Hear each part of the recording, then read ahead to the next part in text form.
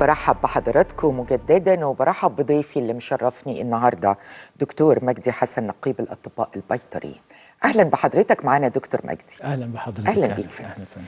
في ظل ما إحنا بنتكلم على آه، اهتمام الدولة المصرية ب آه، نقدر نقول الداخل إن أنت تزرع إن أنت تصنع إن أنت تعمل ده كله حفاظ على ثروات مهمة عندنا. آه، بنتكلم على ثروة حيوانية بالنسبة لنا داجنة بالنسبة لنا أيضا الثروة السمكية. يمكن الناس ما تعرفش إنه حضراتكم خط الدفاع الأول عن حاجات كتيرة قوي عن حتى الأمراض المشتركة ما بين الإنسان وما بين الحيوان. ده حقيقي. نبدأ بالثروة الحيوانية كيفية الحفاظ عليها والمفروض إيه اللي يحصل. إحنا طبعا دور ال- الطب البيطري إن إحنا بنحافظ وننمي الثروة الحيوانية دي مهمة جدا نعم. لأنها مصدر آه، غذائي مصدر البروتين الحيواني.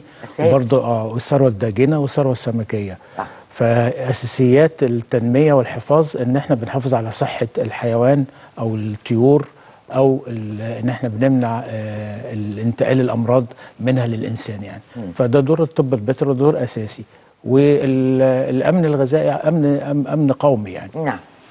نعم. إيه بتبدأوا من أنتوا أنتوا موجودين في كل الأماكن الحقيقة.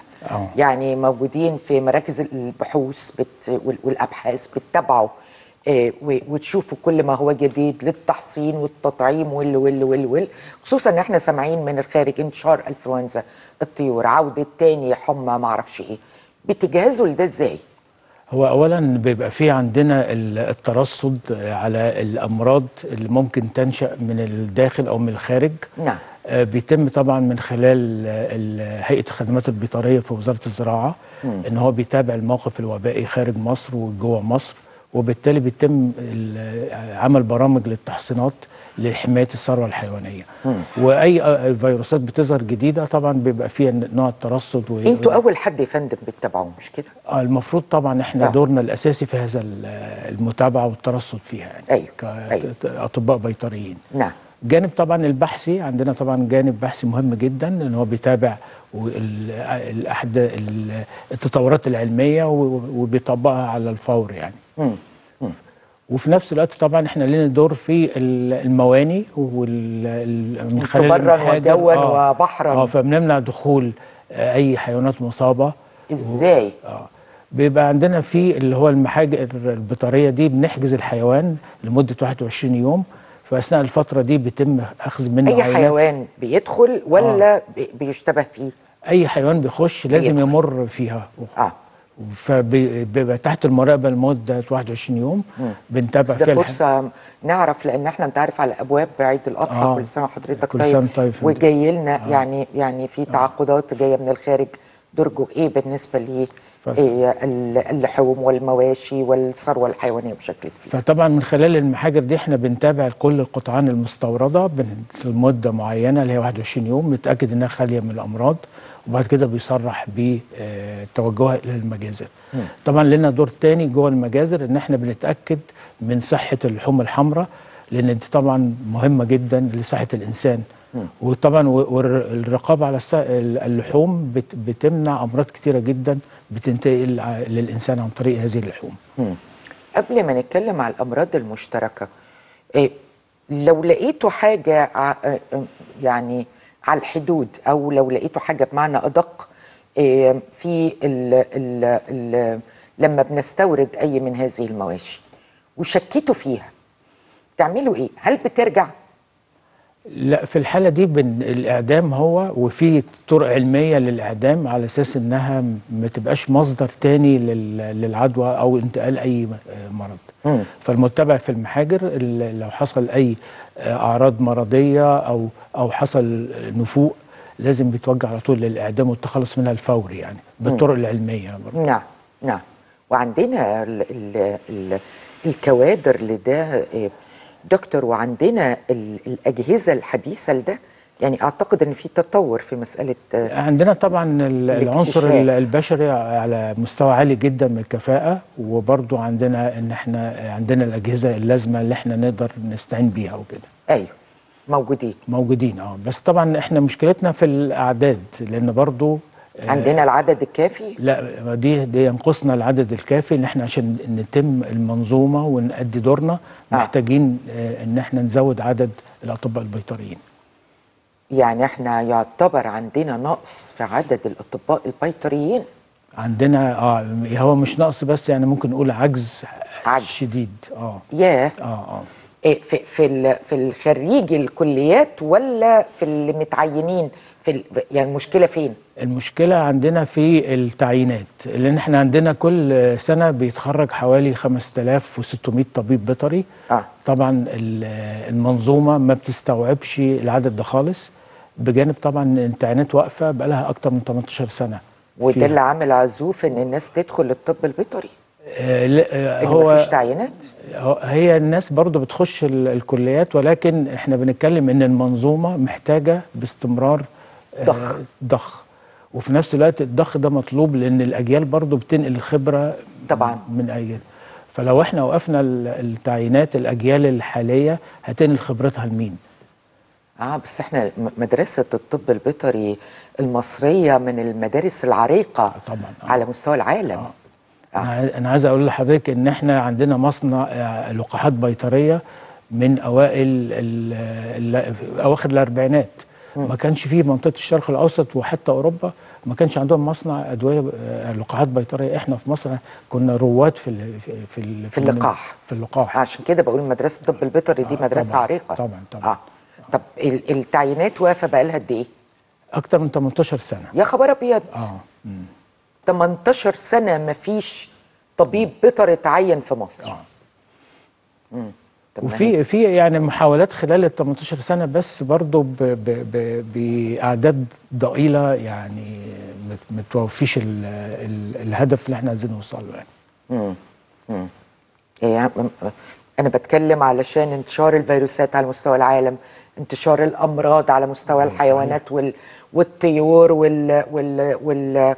والمواشي والدواجن وكل ده محتاج ما أنا عشان. أوصل للمنظومة صحه واحدة للانسان أنا النهارده بوفر على وزارة الصحة آه، آه، آه، علاج أمراض كتيرة ممكن تصيب الإنسان فده برضه ليها بعد اقتصادي ومالي آه. على العبء على وزارة الصحة آه. فدايما الوقاية خير من العلاج نعم فده دور الطب البيطري إن أنا بعمل وقاية للإنسان عن طريق التحكم في الأمراض اللي بتظهر في الحيوانات أيوه وده دور أساسي حتى كمان في الحيوانات الأليفة لنا دور مهم جدا.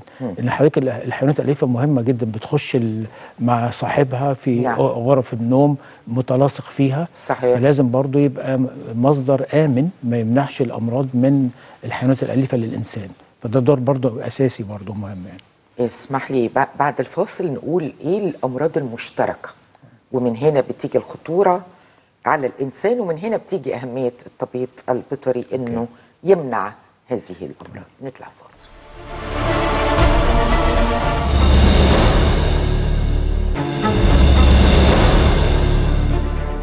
برحب بحضراتكم مجددا وبرحب بضيفي اللي مشرفني النهارده دكتور مجدي حسن. دكتور مجدي بالفعل زي ما أنا آه، ذاكرت كده 200 مرض مشترك ما بين الإنسان والحيوان. ده حقيقي فعلا. ولا أكتر ولا أقل. لا هو 200 تقريبا 200 آه، تقريبا آه. العالم كله توصل ليهم. أيوه. أهمهم إيه؟ أو أخطرهم بمعنى أدق. في عندنا مرض السل ومرض السعار ومرض اللي هو ال- البروسيلا اللي بينتقل عن طريق اللحوم أو الألبان أو منتجاتها يعني. مم. السل برضو نفس ال- الوضع. السعار ده طبعا عن طريق الكلاب الشوارع آه. والانسان ممكن يتعض أو عن طريق الفئران أو العرس دي أيوة. برضو مصدر آه، نقل المرض للإنسان مهم جدا يعني. أيوه. وإيه دوركم يعني الامراض هو المشتركة طبعا دي؟ بالنسبة لل أنتوا كده في جزء للإنسان وفي جزء بالنسبة آه، بالنسبة للحوم كمصدر إحنا طبعا المجازر بيبقى فيها طبيب بيطري بيقوم بكشف اللحوم ولو فيها أي حاجة بيأمر بإعدامها والمجازر مجهزة بالإعدام. في في عندنا برضو ال- الألبان برضو في رقابة من من ناحيتنا على أساس لو في أي حيوان فيه سل أو حاجة برضو ده بيعدم في في المجازر. ال- في نفس وقبل ده في تطعيمات يا دكتور نجم؟ آه طبعا في برنامج آه، وقائي بيتطبق على كل الحيوانات آه. وإن إحنا نمنع ظهور ال- ال- الأمراض عليها. طبعا مرض السعار بيبقى أهم حاجة إن إحنا بنطعم الكلاب بال- بالفاكسين نفسه بتاع ال- المرض دوت. وفي نفس الوقت برضو إن إحنا آه، يعني بنتابع برضو موضوع كلاب الشوارع وكده بحيث إن إحنا برضو بندي advices إزاي إن إحنا نتخلص من كلاب الشوارع لأن برضو لها تكنيك. أنا كطبيب بيطري أقدر إن أنا إزاي أمسكه وإزاي وعندنا. التطعيمات لو حد موجودة، آه. لو حد عضه كلب ويجي له المشكلة دي آه. يتلحق آه في عندنا تطعيم للكلاب وفي عندنا المصل اللي بيتاخد للإنسان أو الطفل اللي بيتعض. ده ده طبعا وزارة الصحة اللي بتوفره يعني نعم نعم دي دي أخطر الأمراض دي من الأخطر ثلاثة الامراض يعني الأمراض في في أمراض تاني في خطيره بتنتقل. الإيبولا ده ما أساسا كان جاي, جاي في القرود في, في أفريقيا بالظبط. برضه ده برضه كان مصدره حيواني آه آه فدي من ضمن الأمراض والعالم بيتكلم عنه دلوقتي آه. على فكرة انفلونزا الطيور برضو هي أساس جاية من الطيور البرية آه. وانتقلت عن طريق الطيور البرية ودخلت مصر. جات لنا فترة آه. في مصر ودلوقتي في خطر كمان ال- الإنفلونزا الطيور أصابت بعض البقر في أمريكا فخطورة ال ال إن المرض ات- اتحول اتعود من الخلية ال- بتاعت الطيور إلى الثدييات والإنسان طبعا من فصيلة الثدييات. فدي كانت عاملة مشكلة كبيرة في أمريكا مم. فدي برضو محتاجة متابعة وإن إحنا نمنع آه، ظهور ال- ال- الإنفلونزا الطيور في مصر مرة تانية يعني مم. مم. إيه تاني من الأمراض اللي بتنتقل؟ إحنا مش عايزين ندي خوف لل لكن على طول فدول يعني أخطر ثلاث طب خلينا نقول للناس برضو لأن أنت عارف آه، يعني في موضة دلوقتي آه، فكرة تربية كلاب في البيوت وتربية القطط في ال- البيوت. برضو طب ننصح الناس نقول لهم إيه طبعا الحيوانات الأليفة مهمة حتى لل... للإنسان حتى من الناحيه النفسية وكده فلازم اللي عنده أي حيوان أليف لازم يكون تابع من خلال طبيب بيطري آه. بحيث يتأكد إن التطعيمات بياخدها أول بأول. لو ظهر أي أعراض لأي حاجة بيتوجه بيها على على طول للعيادة مم. والدكتور بيطري بيقوم الدور ال- ال- اللي هو آه، الكشف وال... والعلاج فور الفوري يعني مم. إيه فكرة الصحة الواحدة صحة الإنسان والحيوان مرتبطة ببعضيها يعني لأن الحيوان بيبقى مصدر الغذاء لل- للحيوان. ال- ال- الكونتاكت أو الاتصال المباشر بين الحيوان والإنسان فدي كلها تحت عنوان صحة واحدة. فأنا دلوقتي لازم أأمن الحيوان بحيث ميبقاش مصدر عدوى للإنسان. وده دور الطب البيطري دور مهم جدا فيه. ومن هنا أنت بتوفر أو بتشيل حمل على وزارة الصحة بالظبط كده. للإنسان. بالظبط كده. لينا آه. إزاي فندم؟ أنا النهارده لو منعت مثلا على سبيل المثال وليس الحصر مرض السل مثلا. مرض السل من الأمراض المكلفة وبتاخد وقت طويل في العلاج فده مكلف. بيبقى آه جا- آه. فده آه. بيبقى عبء شديد جدا على وزارة الصحة. ولكن أنا النهارده أما أمن الحيوان إن هو ما فيهوش ال- السل البقري فبالتالي أنا بشكل غير مباشر بقلل التكلفة. من هنا دو- ال- الدور المهم. ده دور مهم جدا آه. طب في دور اقتصادي آخر؟ ما اللي حضرتك بتقول عليه ده دور اقتصادي مهم. أنا النهارده دوري أنا برضه أقدر أساهم في الاكتفاء الذاتي في الإنتاج الداجني في؟ الإنتاج اللحوم الحمراء. أنا النهارده آه، لو بحافظ على آه، صحة الطيور وبعمل الدور ال- الم- المنوط بيه كطب بيطري فبمنع الأمراض بالتالي بقلل وفيات الدواجن وبالتالي بزود آه، الأعداد المربية إن أنا ب ب عن طريق إن أنا بقلل الوفيات وبحافظ على برامج وقاية فالفرخه بتوصل للأوزان المثالية وبالعدد ال- المطلوب يحقق الجدوى الاقتصادية للمربي. لأن إحنا مثلا عندنا الوفيات مثلا الطبيعية بتتراوح من 3 ل 5% حد أقصى. ده, ده على مستوى العالم. ده مستوى العالم واللي بيتحقق في مصر. آه. فده دو- دور الطبيب البيطري إنه يحافظ على المعدل دوت. طبعا لو زاد المعدل بتبقى خسارة كبيرة جدا على المربيين يعني. مم. ده إحنا تعرف بيبقى في دعوات من وقت للتاني للمقاطعة. يقول لك قطعوا اللحوم لغاية ما ترخص قطعوا الفراخ لغاية ما ترخص. والله إحنا يعني كنقابة ضد موضوع المقاطعة مش هو ده العلاج. آه. يعني ال ال ال القانون العرض والطلب هو الأساس. فالأسعار بتزيد معناها إن المعروض أقل من ال- الطلب. أيوه. فإحنا هدفنا اولا اولا صناعة الدواجن م- بتمر بمشاكل كتيرة جدا بقالنا خمس سنوات. أيوة. وزاد المشكلة مي- من آه، نتيجة أزمة الدولار الأخيرة أيوة. وتوافر الأعلاف. أيوة. ولكن صناعة الدواجن محتاجة تنظيم ومحتاجة رؤية تانية إن ما زال إحنا عندنا مشكلة فيها وخاصة في قطاع إنتاج البيض. يعني إحنا إنتاج البيض النهارده آه، يمثل بالظبط من 25 30% من المفروض حدوثه. ياه فعلا آه. طب وليه ما بيحدثش؟ اولا القطاع ده تعرض لخسائر كتيرة جدا نتيجة آه، إن آه، ال- العرض كان أكتر من الطلب فالأسعار نزلت. ودي نقطة لازم إحنا ننظم الصناعة. ما فيش صناعة النهارده إلا لازم لها قواعد ونظم. مم. فنتيجة إن الإفراط في الإنتاج بشكل آه، عشوائي حصل إن العرض أكتر من الطلب. مم. فابتدت الناس تخسر. العرض أكتر من آه الطلب. في الكلام ده كان من خمس سنين. آه آه, آه. تمام. فابتدى بالتدريج الناس تخرج من الدايرة من. الإنتاجية. آه. آه. وجت أزمة العلف الأخيرة مع أيوة. الدولار دي سرعت في خروج عدد كبير جدا. أيوة. فأصبح المنتج الحالي قليل قوي. آه. والمربي الصغير خرج. لأن إحنا الثروه الحيوانيه بصفه عامه والداجنه 70 ل 75% منها منتجين صغيرين مم. منتج صغير وكمان ليه طب إحنا محتاجين ده يعني نقف جنبه ونسنده.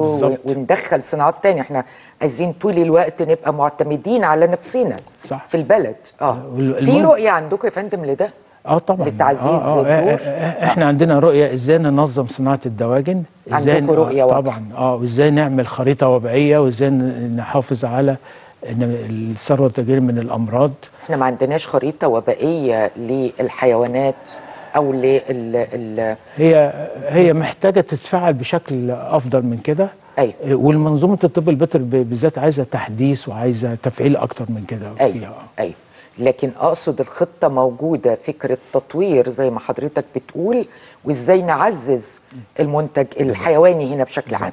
مش بتكلم على آه. حاجة بعينها وفي نقطة أساسية برضو م- مش تخصصنا ولكن ما يسمى السعر العادل آه اللي هو التوازن ما بين المنتج والمستهلك في الآخر أيوه في- في معادلة كده بتتعمل أيوة. بحيث إن أنا لازم أحافظ على المنتج ولازم يكسب مم. بس برضه لا- يبالغ في في المكاسب مم. ولازم الإنتاج ده يغطي احتياجاتنا أيوة. عشان ما يحصلش فيه نقص أيوه طيب طيب.